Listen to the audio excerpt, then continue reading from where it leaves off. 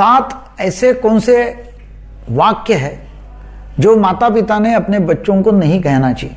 इसके बारे में आज बातचीत कर दे मेरा नाम है डॉक्टर दीपक केड़कर मैं मनोविकार, सेक्स रोग, सम्मोहन तथा व्यसन मुक्ति तज्ञ हूँ। महाराष्ट्र में मुंबई, पुणे, अकोला यहाँ प्रैक्टिस करता हूँ। बच्चों को परवरिश जब हम करते हैं तो हमको बहुत सावधानी से परवरिश करना चाहिए। बच्चे एक गिल्ली मिट्टी का गोला है।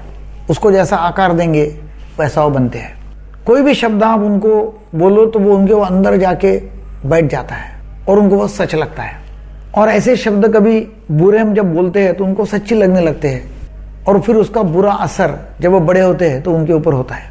तो हम देखना है कि कौन से शब्द या कौन से वाक्य हमने टालना चाहिए माता पिता ने टालना चाहिए, जब हम उनसे बातचीत करते रहते हैं। नंबर एक, गलत शब्द का इस्तेमाल मत करो या बुरे शब्दों का इस्तेमाल मत करो। तुम मूर्ख है तुमको अक्ल नहीं है, तुमको समझता नहीं है। तो ऐसे शब्द जब आप बोलते रहते हैं तो उसको दिल को लग जाता है। उसको समझता नहीं, मूर्ख क्या है? मगर उसको समझता कुछ तो भी गड़बड़ है। अकल नहीं है, इतना समझता नहीं क्या? जब हम बोलते रहते तो वो एकदम अंदर तक उसके घुस जाता है। तू गधा है? उसको समझता नहीं गधा क्या है? मगर जब हम बोलते हैं तो उसके अंदर तक वो पहुँचता है। तो ऐसे कोई भी गलत शब्द का इस्तेमाल कभी भी नहीं करना। है नंबर दो, कभी भी उसके कृति या उसका बर्ताव जो है, उसके प्रति कुछ बोलना नहीं चाहिए या कमेंट नहीं पास करना चाहिए, गलत कमेंट तो बराबर चलता नहीं. तू दिखने में ठीक नहीं है. तू चलता तो पगले जैसा चलता है क्या? या तू तो ऐसा लगता है कि मतलब जैसा घोड़े से चल रहा है, गधा है क्या? मतलब ऐसा उसका बर्ताव करना, या खाने के समय कुछ कमेंट पास करना, या नहाने के समय कुछ स्नान करता है तब तो कमेंट पास करना, कितना स्लोली नहाते रहता है? संडास में जाके बैठेगा तो इतना समय बैठते रहता है क्या? मतलब कोई भी ऐसी एक्शन उसकी है तो वो एक्शन के प्रति कुछ भी ऐसे गलत शब्दों का इस्तेमाल नहीं करना चाहिए। उसको लगता है कि भाई मेरे में कुछ तो भी कमी है, और फिर वो उसके दिमाग में पक्का जाके बैठता है। नंबर तीन, मैंने पता नहीं हमारे यहाँ तो तूने क्यों जन्म लिया? माँ बोलती है, मेरे पेट में तूने क्यों जन्म लिया? ऐसा लड़का तो मेरे जन्म में आना ही नहीं चाहिए। पता नहीं क्यों आया हमारे घर पे। मतलब ऐसे एकदम फ्रस्ट्रेट होकर जब माँ बोलती है उसके ऊपर तो उसको बहुत बुरा लगता है, बहुत बेकार लगता है। उसको एक अबेंडन होने का फीलिंग आता है। भाई, मैं नहीं ये घर में मतलब अनवांटेड है, ऐसा उसको फीलिंग आता है और उसका पूरा असर उसके ऊपर, दिमाग के ऊपर। नंबर चार तो हमारे ऊपर बहुत बर्डन है मतलब बहुत बोझ है हमारे ऊपर। तेरे ऊपर कितना खर्चा करना पड़ता है?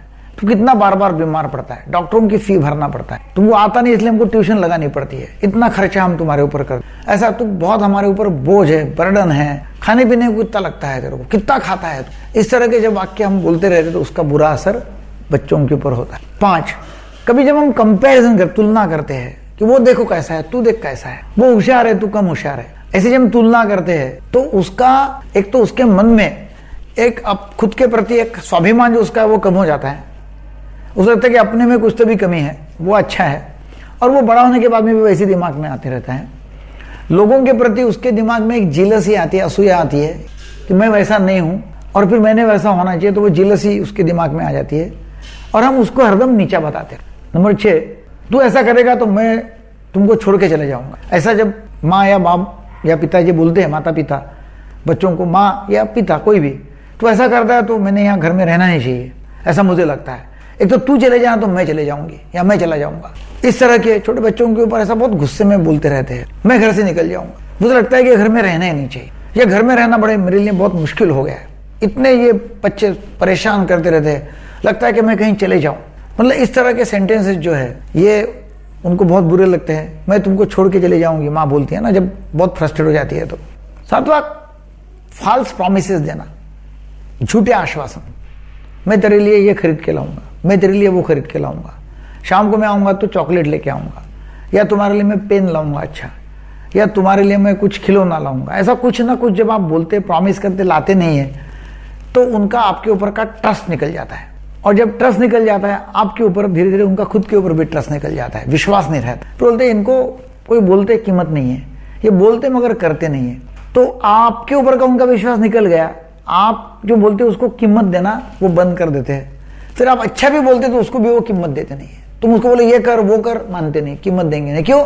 क्योंकि आपने बोलते बोलते अपने शब्दों की कीमत आपने ही गमा दिया है। आठ, आठवां पॉइंट है सेल्फ फुलफिलिंग प्रोफेसी मत करो। मतलब ऐसा कोई भविष्य मत बताओ कि सच्चे हो जाएगा। तो इस तरह का करेगा तो डेफिनेटली पक्का तू फेल हो जाएगा। तो इस तरह का करेगा ऐसा तो गिर जाएगा। तू इस तरह का ऐसा करेगा तेरे को चोट आ जाएँगे। तू इस तरह का करेगा लोग तेरे को पागल बोलेंगे। तू इस तरह का करेगा तू फेल हो जाएगा। तू ऐसा करेंगे तो अच्छा दिखेगा नहीं। ऐसा जो भी आप बोलते हैं तो भविष्य में ऐसा हो जाएगा। ऐसा जब बार बार बोलते रहते हैं तो वो प्रॉब्लम है। तू गधा है, गधे जैसा कर रहा है तू, पता नहीं तू गधा ही बन जाएगा। गधे जैसा रहेगा। मैं हरदम बोलता हूँ कि शिवाजी महाराज की माता जी थी, माँ जिजाऊ। उसने कभी ऐसा बोला नहीं शिवाजी महाराज को। उसने बोलते, राजे, इधर आइए।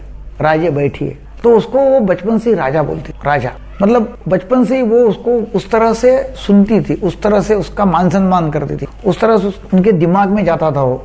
तो वो राजे बन गए। हमारे यहाँ क्या कहता है? अक्ल नहीं है, समझता नहीं है, ये नहीं, वो नहीं, ऐसा चलेंगे तो वो ऐसे बन जाता है। तो ऐसा करेंगे तो गणित तेरे को कभी आएँगे नहीं मैथमेटिक्स तो ऐसा करेंगे इंग्लिश तेरे को कभी जमेगा ही नहीं। ऐसा करेंगे तो प्यून बनेगा, चपरासी। तो ऐसे जब हम भविष्य बताते हैं तो ये पॉइजनस शब्द है। तो ये ऐसे आठ जो है, वो एक विषारी शब्द है, जिसका बहुत बुरा असर होता है। और ये आठ के आठ वाक्य जो अलग अलग मैंने बताया, ये माता पिता ने या कोई बड़ों ने अपने बच्चों के प्रति कभी इस्तेमाल करना ही नहीं है। ये वीडियो सभी माता पिताओं को आप सर्कुलेट करो, सभी लोगों को शेयर करो, ताकि हमारे देश में जन्म लेने वाला हर बच्चा एक पावरफुल नागरिक बने। Thank you very much